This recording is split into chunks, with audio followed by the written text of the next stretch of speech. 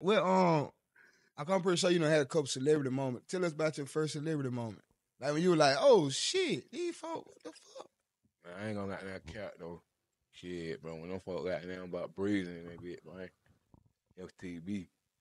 Bro, who? No, I ain't talking about a real. About breathing. I ain't talking when they. I ain't talking about when they brought a celebrity. I'm talking about when you had your first Oh. celebrity moment when you was just out at the grocery store and the motherfucker. never- shit, oh, me, I ain't never had a real celebrity moment like that. bro. Wait, we Yeah, embrace bro. it, bro. We, we yeah, we just pulled up. Uh, That was your first. That was your first one with that. Yeah, yeah, yeah, like no, I ain't saying first one with y'all. I'm saying like, but my first one like if for with Breeze, like Chris Brown, that my first real. He knew who you were.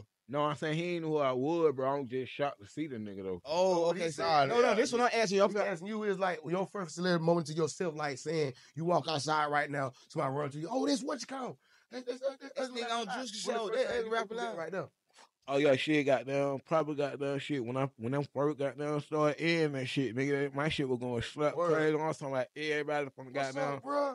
Man. What? I'm No matter where you go. Yeah. Dang, but then you got Bro, boy, this nigga hopped over a fucking car, bro. Starting to Oh, mid shit. shit. You did it, bro. right there, you did bro.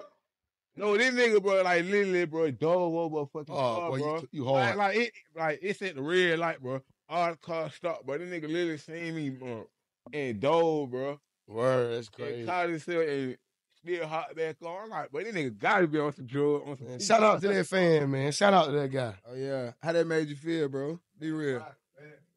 Y'all gonna win. uh, You know, no more weed in there, man. Boy, that motherfucker that been gone.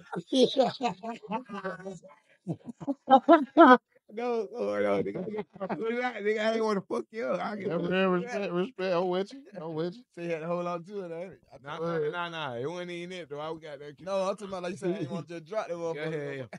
Oh, but say, I thought about what you said the first time, man. Hey, Mm. but hell yeah, though, bro. You been goddamn doing your thing, though. Like, like, if for like up and coming, who you really want to work with in the in the entertainment world? I ain't gonna like that kind of entertainment world, bro. It's two people I really want to work with, though. The great Denzel Washington. Word. Shout So out. you trying to get into acting? Okay, then my boy more than a damn rapper. i I'm gonna be Yeah. real. He put me on you.